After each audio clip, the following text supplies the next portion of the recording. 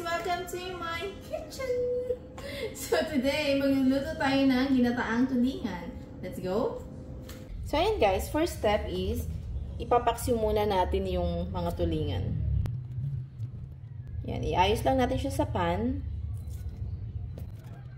And then, lagyan ng salt, garlic,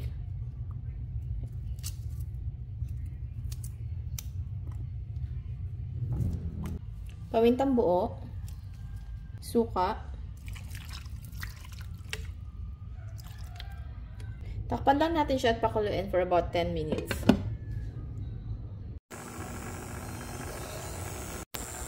Ayan na guys, napakuluan ko na siya ng 10 minutes. So, hanguin muna natin kasi ipiprito naman natin yan. Prito na natin yung mga isda.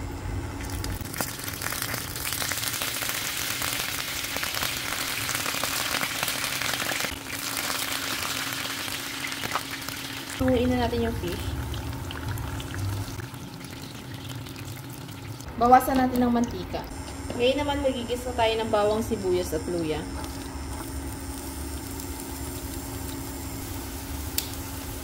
Balik natin yung mga isda.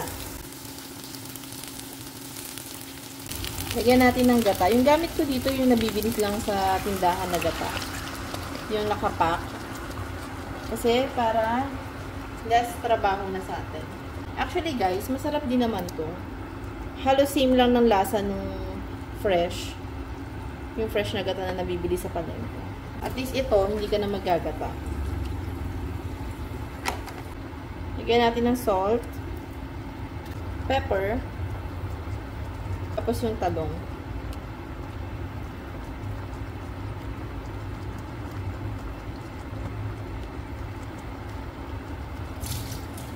Hintayin lang natin lumambot yung talong at saka medyo lumapot yung sabaw.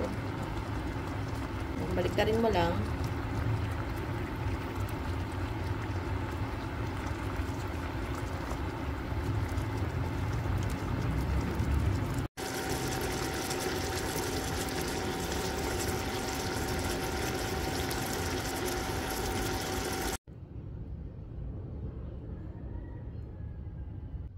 Ito na guys. Luto na yung ginataang tulingan natin. So, tikman na natin.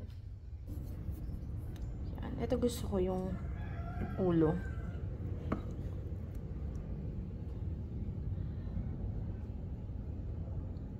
Tapos, talong. Then sauce.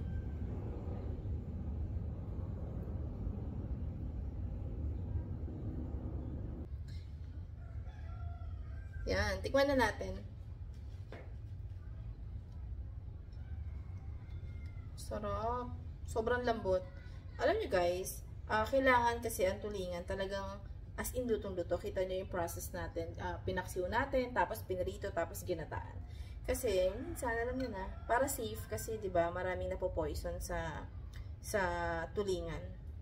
Pero kung ibang fish naman yung gagamitin nyo, okay na yung pagkagisa nyo ng bawang sibuyas luya, uh, lagay nyo na yung fish and then yung gata. Then, okay na yun. Mmm. Sarap. Sobrang malasa. Mmm. Hindi bagay yung kutsara. Kailangan to kamayin. Sarap. Alam nyo guys, pag ganito yung ulam, kakarami ka ng kanin.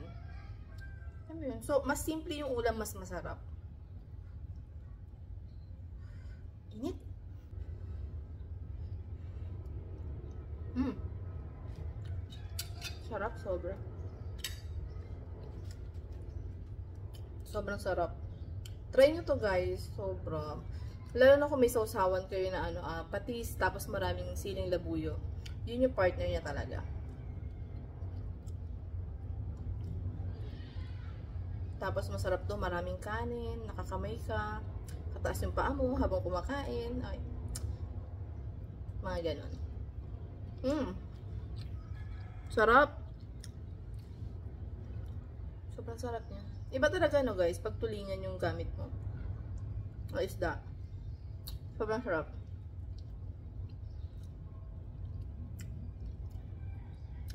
Minsan kasi, di ba, nakakaumay na rin pag laging karne yung ulam.